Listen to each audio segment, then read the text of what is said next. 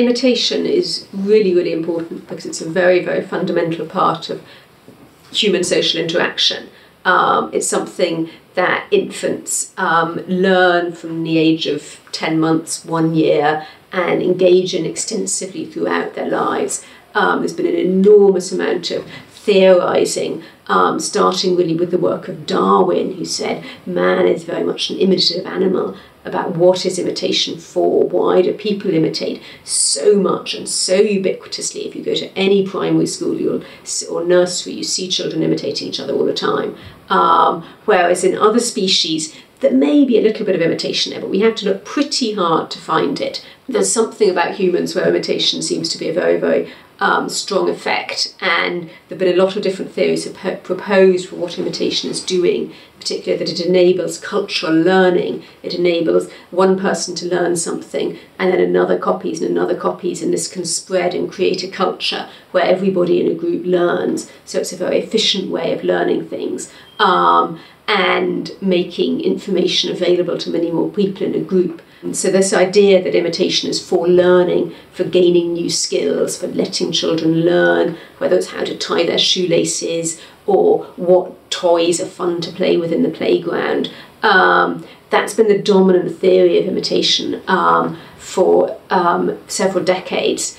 But we're also finding, and evidence is increasingly emerging, that imitation is a very, very social thing. People engage in imitation even when they're not learning um, people engage in imitation in order to connect with other people and to show that they have a social connection with other people.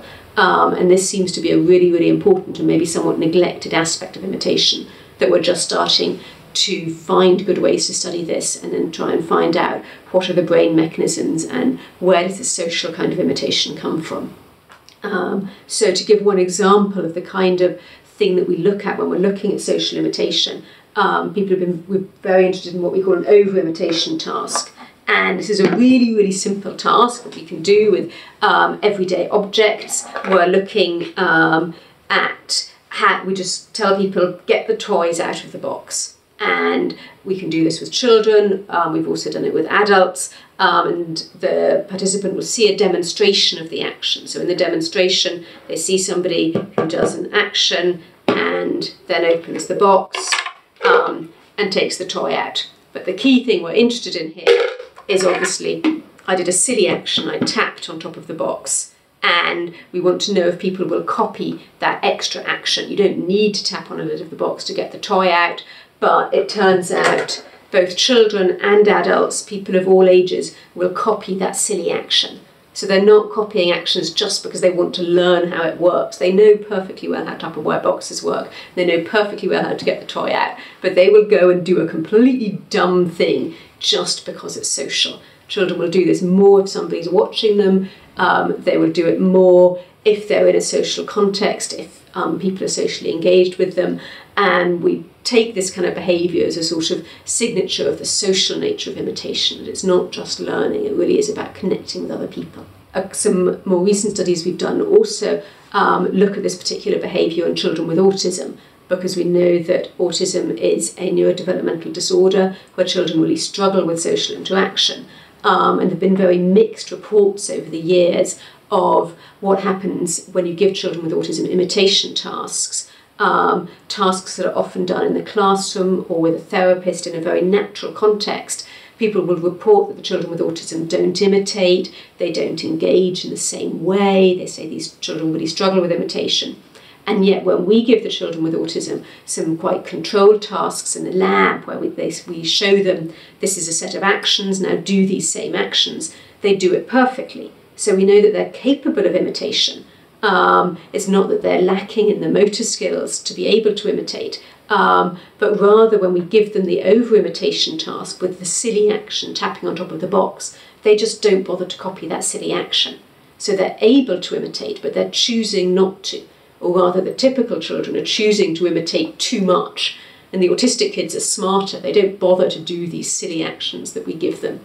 Um, so again, that's showing us that these act- that the typical children are very, very social. They want to do these actions because they want to be like the adult, because they want to be social. And the children with autism leave out those extra actions, they leave out the stuff you don't need to do. which for the one particular task is more efficient, but um, more generally, it may, maybe means people feel like this child isn't engaging, and maybe the child is then losing out on some opportunities to learn. They're losing out on the chance to learn that maybe doing the stupid thing sometimes is fun, or sometimes makes your friend laugh, or sometimes gives you a social connection with another person that you wouldn't get in a different way.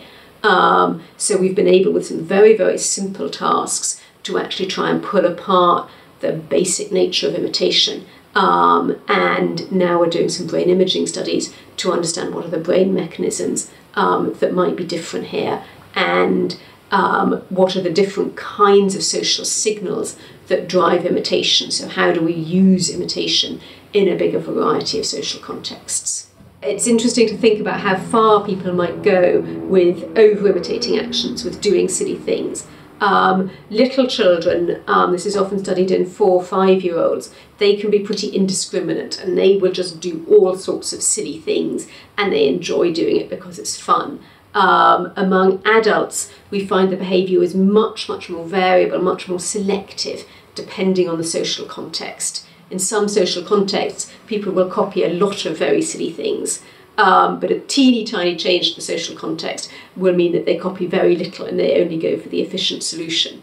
Um, so adults can do it, but they don't always do it. It will depend maybe are they with their friends, who's watching, what you know, precisely what have they been told, what do they think the situation is about, because we think that imitate this kind of imitation is giving us a window into some of the much more elaborate social processes that are going on when people are deciding how to act. Um, and again, this kind of over imitation, imitation of unnecessary stuff, may be the kind of thing that we see in a lot of cultural things, in fashion. How do people choose what kind of clothes to wear or what kind of music to listen to? These are fairly arbitrary choices. They don't, you know, one style of coat isn't going to keep the rain off better than another, but teenagers will put a lot of time and energy into choosing who they copy and which styles to wear. Um, and these kind of over imitation again will be sending social signals, and people are very, very subtly tuned in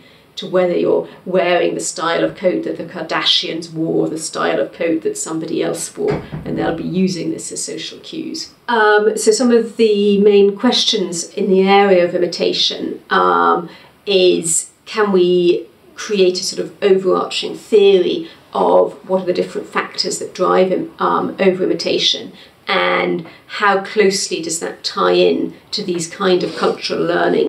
Like fashion i've given the example of people copying other fashions but we'd like to be able to pin down evidence and see what are the mechanisms that drive that um, and what kind of things drive your decision to imitate one person over another it's the kind of thing actually even Facebook or fashion industry are very interested in because they'd love to find the fashion blogger who's the most influential and what should that person do to make everybody buy their coats. So that's quite a long way off from what we're doing at the moment. But if we can understand what are the mechanisms by which these kind of very basic social processes work, then it does have these much bigger applications um, for things that change how people behave in the real world.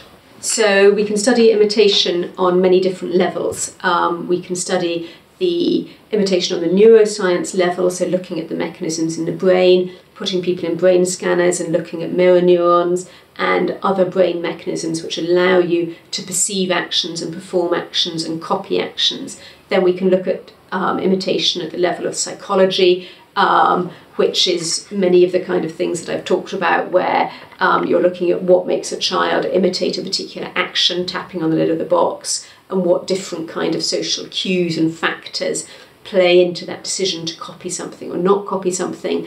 And then we could look at imitation um, at a sociological or cultural level to see how different trends and fashions um, spread through a culture or how knowledge spreads um, through a particular culture and how different ideas would be imitated within that culture.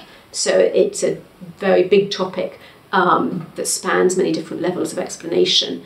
And if we get a really good um, idea of what's driving imitation, I think that'll feed into many different areas. One of the questions that's very important in the area of imitation that we're looking at at the moment is the question of how people respond to being imitated Um, there's been a lot of research over the last 10 years, 20 years over how people produce imitation, what makes you imitate another person. But in a social interaction, there's always two halves to the social interaction. If one person copies, the other person will detect, am I being copied? And the dominant idea in the field at the moment is that if somebody copies you, maybe you'll like them more, um, you'll take that as a compliment. Um, but the evidence for that is rather mixed. And certainly in real life examples, copying can be a form of mockery. Um, we see it with politicians a lot, that if um, someone on TV wants to mock a politician, sometimes they will copy them as a caricature, as an extreme version of that.